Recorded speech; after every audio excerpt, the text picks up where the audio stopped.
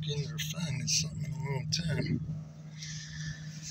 I got something here.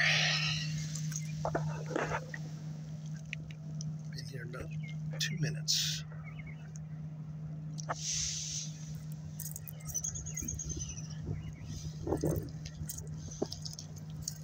Yeah.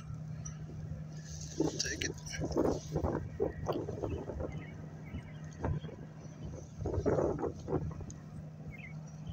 Looks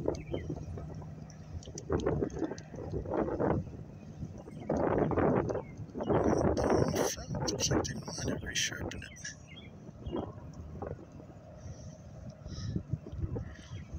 Pretty cool.